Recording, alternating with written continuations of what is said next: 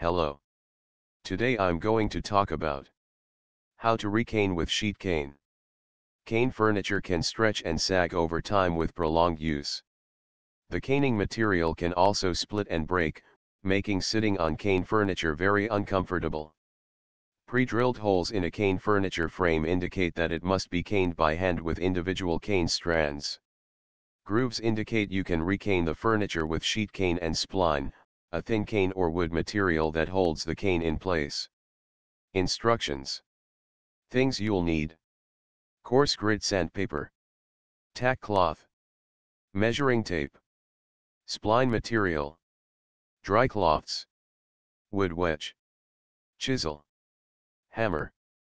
Mallet. Wood glue. Damp cloth. 1. Sand out the empty grooves on the furniture frame with coarse grit sandpaper to remove any old bits of glue and splining. Wipe down the frame with a tack cloth to remove sawdust and other debris from sanding. 2. Measure the length and width of the furniture frame area you will be covering with a measuring tape. The sheet cane should be at least 2 inches bigger in length and width than the area to be covered. Place the cane sheet and spline in warm water for at least 15 minutes. 3. Remove the cane sheet and spline from the water and dry them off with a clean cloth.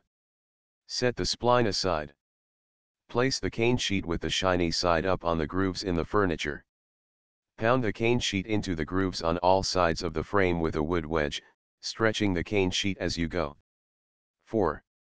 Trim off extra cane material on the outside of the groove with a chisel and hammer, ensuring that all edges are smooth. Push the spline material into the groove on top of the cane sheet on each side of the furniture frame. Pound the spline into place with a mallet. 5.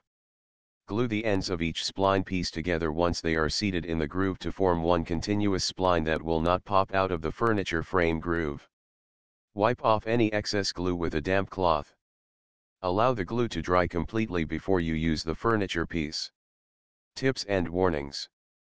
You should not have to sand down any sharp edges if you are careful to chisel off excess cane close to the furniture frame. Oversoaking the cane sheet and spline can render them useless. Resources. Read this article in Spanish. Read this article in UK English. Thanks for watching.